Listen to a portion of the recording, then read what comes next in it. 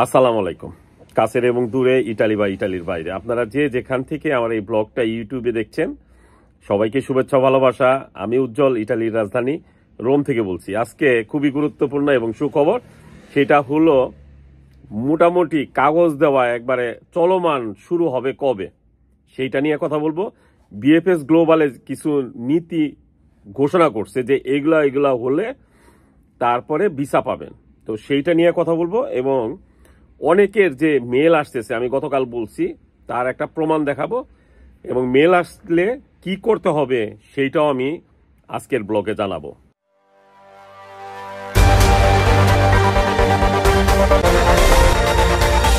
প্রথমে মেল দিয়েই কথা বলি, সেটা হলো ইটালিতে অনেকেই যারা মানে এখন তো গত দুই সপ্তাহ পুরো দমে চেক করা হইতেছে যে স্পন্সার এগ্রিকালচার ডোমেস্টিক যে আবেদন করছে যারা।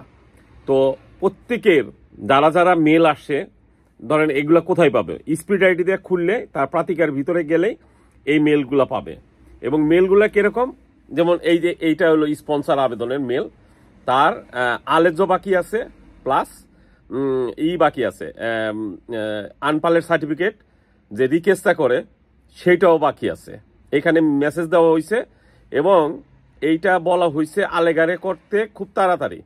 এবং এখন একটা পরবর্তী মেসেজ দেখায় সেটা হলো, এই এই মেসেজটা হলো এইটাই, খুব শীঘ্রই যদি আলেগারে না করে মানে স্পিড আইডির ভিতরে ঢুইকে এখন একটা এই বছর সুযোগ দিছে আলেগারে করার মানে কাগজটা আবার সাবমিট করার। এখন যদি আনপালের সার্টিফিকেট প্লাস হলো সার্টিফিকেট না পাইলেও যে প্রোটোকল নাম্বার আছে, সেইটা দিতে হবে প্লাস হইল একটা আলেজ্য অস্বীকৃতির জন্য আবেদন। সেইটা করতে হবে, সেইটা এইখানে আলেগারে করতে হইব। এখন যদি না দেয়, সেখানে কিন্তু মেসেজের ভিতরে লেখা আছে রিকেস্তা ইন্টেগ্রাসিওনে প্রবেশো দি রিজেত্তো। মানে এইটা যদি প্রমাণ খুব শীঘ্রই না দিতে পারে, খুব তাড়াতাড়ি এটা রিজেক্ট হয়ে যাব। এইবার, আসলে এইবারই প্রথম। মানে কাগজ রিজেক্ট করার জন্য সরাসরি আগে তো প্যাকে মেল আসতো, এখন সরাসরি স্পিড মধ্যে এইভাবে দিয়ে দিছে। তো আলেগারে করার জন্য খুব শীঘ্রই। তো হয়তো বা এই যে অফিস হওয়ার কালকে বা পরশু এগুলো আলেগারে করতে পারব। যদি পারে, তো খুব শীঘ্রই সে নুলস্তা পাবে। সেইটাই জানাইছে এই দেশের পেপুত্তরা থেকে মেসেজ দিয়ে। আর সুখবর হলে আগামীকাল সোমবার আট তারিখ থেকে আগামী বারো তারিখের ভিতরে আপনারা যথেষ্ট পরিমাণ নুলস্তা পাবেন বাংলাদেশ থেকে এবং বিশ্বের তেত্রিশটা দেশ থেকে। এইটা এখন মানে মোটামুটি ঘোষণাটা অনেকেই জানে এবং এটা কোনোভাবে এটা প্রকাশ করে নাই, কিন্তু যারা পেপুতরাতে কাজ করে, তারা ম্যাক্সিমাম মানুষই জানে যে আগামীকাল থেকে আট তারিখ থেকে এবং বারো তারিখের ভিতরে নলস্তা দেওয়া শুরু হয়ে যাবে। এতে এগ্রিকালচার আছে স্পন্সার আছে ডোমেস্টিক আছে। তিনও কাগজই একসাথেই মানে পর্যায়ক্রমে দিতে থাকবে। তো ভয়ের কিছু নাই।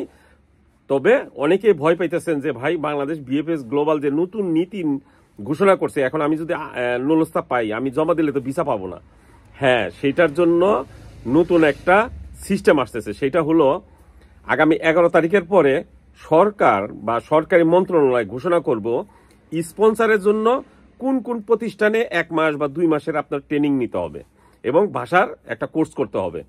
সেইটা সরকার নির্ধারণ করে দিব। এগ্রিকালচারের জন্য এরকম এবং ডোমেস্টিকের জন্য একই রকম। এই তিনটার জন্যই আলাদা আলাদা একটা এজেন্সির সাথে সরকারের চুক্তি হয়েছে। সেইগুলা সরকার ঘোষণা করব যে, স্পন্সারের জন্য এখানে দুই মাস ট্রেনিং করো এবং সেখানে যদি পাশ করো সেখান থেকে যে সার্টিফিকেট দিব সেই সার্টিফিকেটটা ইটালিয়ান এম্বাসিতে জমা দিলেই আপনি ভিসা পাইয়া যাবেন। এটা নব্বই দিনের ভিতরে এইটা করতে হবে।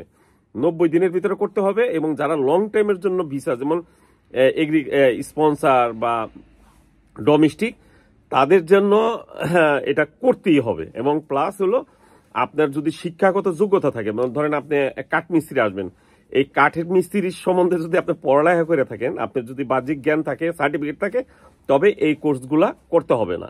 তো ভয়ের কিছু নাই। ইন্স্যুরেন্স একটা আছে ইন্স্যুরেন্স বিএফএস গ্লোবাল দেখাই দিবে যে কোথা থেকে ইন্স্যুরেন্স করতে হইব। এটা আগেও ছিল, এখন আবার নতুন করে ঘোষণা দিছে। তারপরে আপনার টিকিট এইটাও আপনি বুকিং দিয়ে সেটাও দিতে পারেন। এখানে কোনো কিছুই, ভয়ের কিছু নাই। শুধু কোর্সটা নিয়ে একটু টেনশনে আছি আমরা। তো খুব শীঘ্রই এটা নিয়ে জানতে পারবেন। ভালো থাকবেন সবাই দোয়া করবেন। আসসালামু আলাইকুম।